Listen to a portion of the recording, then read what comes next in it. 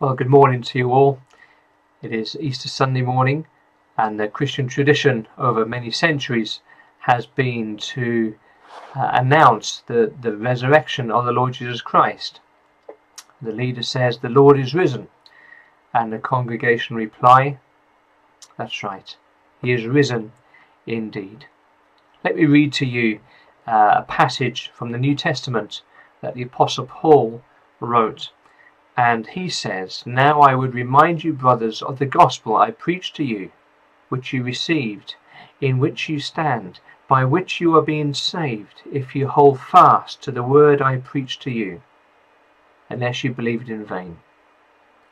For I delivered to you as of first importance what I also received, that Christ died for our sins in accordance with the Scriptures, that he was buried that he was raised on the third day in accordance with the Scriptures, and that he appeared to Cephas and to the twelve. Then he appeared to more than five hundred brothers at one time, most of whom are still alive, though some have fallen asleep. Then he appeared to James, then to all the apostles. Last of all, as to one untimely born, he appeared also to me. For I am the least of the apostles unworthy to be called an apostle because I persecuted the church of God. And by the grace of God I am what I am, and his grace towards me was not in vain. On the contrary, I worked harder than any of them, though it was not I, but the grace of God that is with me. Whether then it was I or they, so they preached, and so you believed. Brothers and sisters, friends, uh, maybe even from various different parts of the country or even further afield, uh, and to friends in Costa Rica. I um, welcome you here this morning.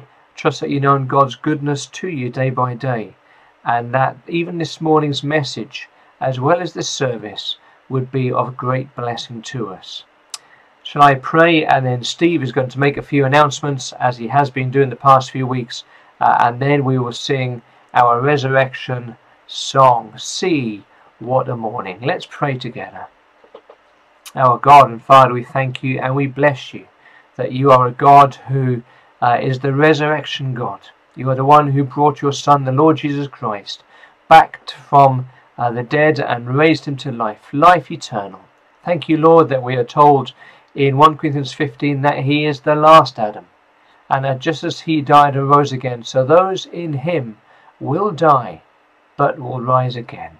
Thank you for that truth, our Father.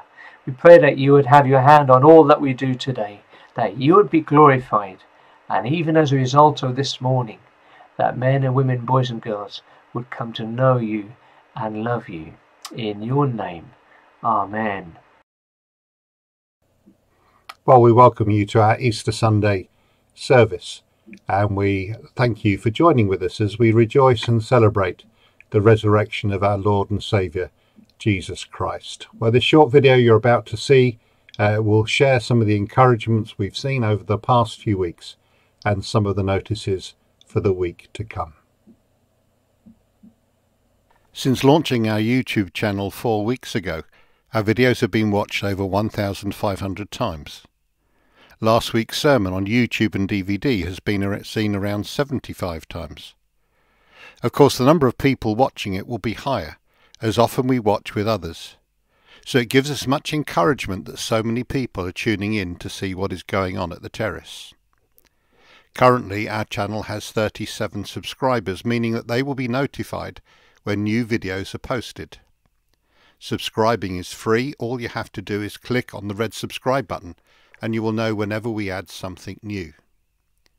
On our YouTube channel currently you will find our Sunday services, along with two other video series.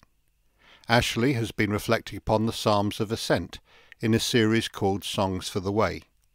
Videos are on our channel for Psalms 120 to 122 and next Wednesday we'll be publishing Psalm 123. For fun, we're also setting weekly tasks in our Terrace 2 Minute Task series. The latest is a challenge involving a mug and a tea bag, but I'll let you watch the video to find out more. Over the past week, two home groups have met online, one using Skype and the other using a system called Zoom. It's good to meet up and pray with others, even if it is over the internet. If you're not sure how to Skype or Zoom, let us know and we'll try to help you. If you're watching and have children, I'd like to remind you that we're using Sparks as a Sunday school resource.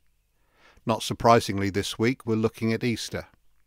To find out more please go to gracelight.uk and you'll find a link to click on.